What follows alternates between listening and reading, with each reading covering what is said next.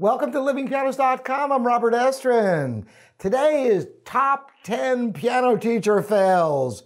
A few weeks ago, I put out a video of the top five piano lesson fails, and I thought it was only fair to do the other side of the equation. So today we've got the top 10 piano teacher fails.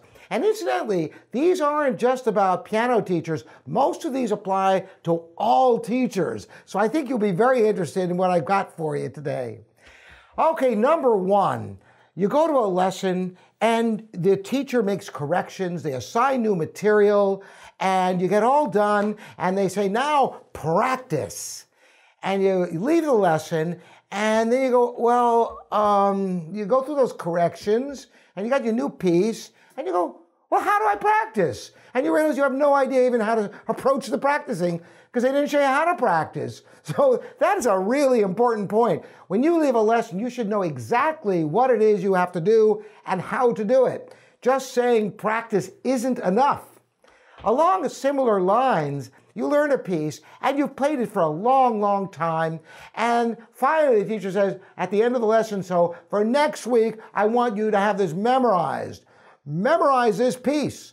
And once again, you get home, you go, okay, and you start from the beginning and see, let's see if I know any of it. And you know, remember just the first couple of bars, your fingers kind of just go to the right keys because you've played it so many times. And then you go, well, now what do I do? And so you can't figure out how to memorize because they didn't show you how to memorize. They just expect you to know how to memorize. This is really bad at a number of levels. First of all, it makes you feel like something's wrong with you. The teacher expects you to be able to memorize, and you can't do it. You feel maybe you're stupid. Maybe you just aren't smart enough to know how to memorize. Well, nobody can just instantly memorize. I guess there's some amazing geniuses out there, like people have photographic memories. Maybe there's some people who can just play music and it's memorized, and that's all they need to do. Of course, if music is simple enough, maybe just sheer repetition will work. But if you just have one week to get something memorized and you don't have a method or a process, you're in trouble. So make sure if somebody tells you to memorize, ask them how, how to memorize. And if you don't get a clear, concise answer, then uh, you might consider getting another teacher if memorization is important to you. Now, number three. This is something that is so blatant and wrong and common that it's unbelievable, which is teachers give music that's too hard. Now, why would they do that? Well, there's a couple of reasons. First of all, you might be begging your teacher, oh, I really want to play this Chopin etude. I love it. And you keep begging them. So part of it can be inspired by the student asking to play something that is really not appropriate for their level.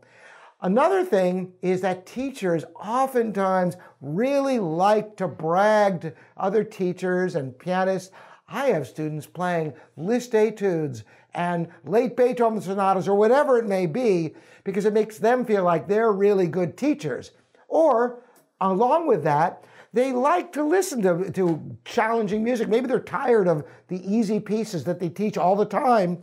And if a student asks for something that's too hard, they, they just say, go ahead and do it. And they figure at least they'll be listening to something that they like listening to more. So, moving on. This one is something true of almost all subjects teachers talking over your head. They're talking as if you understand them, and you sort of do, and, but you sort of don't, and you don't even know what question to ask, and you feel like it would make you seem stupid if you ask a question after talking to you like you understand. This is particularly true with music theory.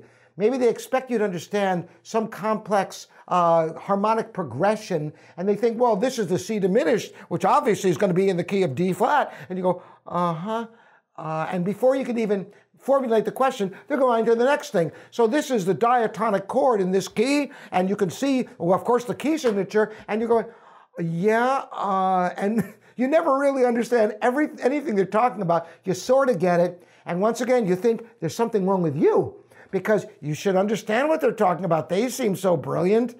And if they think you understand it, you should. Well, sometimes teachers don't understand what you need to know in order to follow the whole chain of the conversation. You could be lost at the beginning and kind of nodding along, thinking, oh, I'll get this eventually by the, by the end of this, this talk. I, I should get it. But then before you know it, you're on to the next thing and you never even get to it. So this is a real big problem.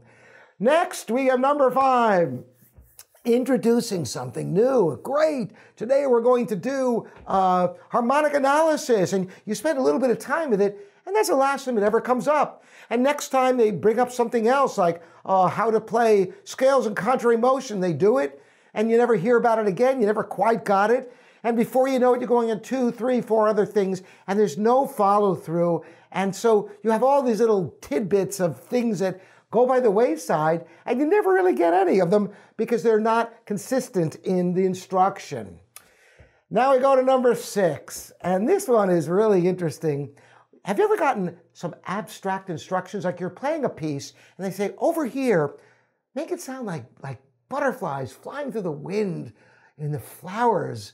And you're going, wow, that sounds great. And, and you're just so impressed with the, the imagery, and you think, okay, butterflies. And uh, now what do I do to make it sound like butterflies? You love this, the, the whole concept of it so much, you don't want to ask, well, how do you make it sound like butterflies? Well, abstract uh, kind of comments can sometimes give you some vague idea of what you're after. But if it's not followed through with specific instructions how to achieve that sound, it's kind of meaningless. It might sound good, but you need more than that. Now we're getting to some of the really heavy things. These are some really destructive things that teachers can do. Head trips, like being passive aggressive, like, okay, well, that's good if you think you like it that way.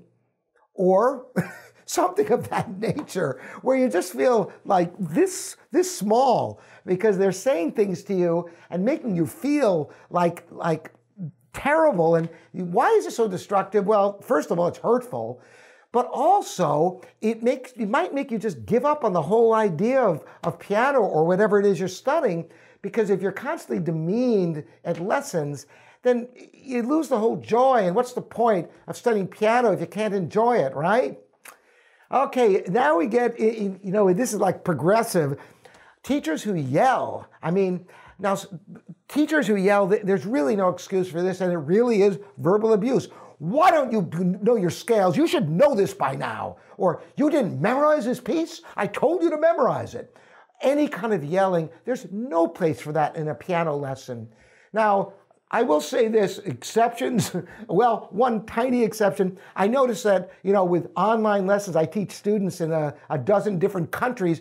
Occasionally, the technology doesn't cooperate, and a student is playing, and they're playing a sonata, and I need to stop them. I'm going, hey, hey, Jim, Jim, trying to get somebody's attention online. But that's a different story. I'm talking about yelling at a student because because they're they're doing something wrong and the teacher thinks that they need to yell to make their point. No, that's not an appropriate way to make a point. End of story. Worse than that, and believe it or not, I've heard so many stories about teachers who hit Hitting is absolutely wrong in any circumstances. The old story, you've probably heard it with the teacher with the ruler. Every time there's a wrong finger, whack, whack, right in the, you know, boom. And boy, you think the thought is the teacher thinks, oh, if they know they're going to get hit, they're going to play with the right fingers. Well, you know, aside from the potential for damage, you know, pain is not a good way of getting people to be open to concepts and instruction. Hitting is just absolutely wrong. Now, a funny kind of uh, story is that when I first started teaching many, many years ago, um, well, actually, it wasn't when I first started, but early on in my teaching career, I had a student who had hit me. Now, I was a child, but a child was old enough to know better. And Janine, if you're listening now, I forgive you. She was actually joyful to work with, and it really didn't hurt, but it was kind of weird to be hit by a student. But hitting as a, from a teacher uh, or a student for that matter, is absolutely inappropriate, obviously. All right, this has been a kind of a long ride here. We're down to number 10. And this one can be so frustrating. Not letting you play through anything.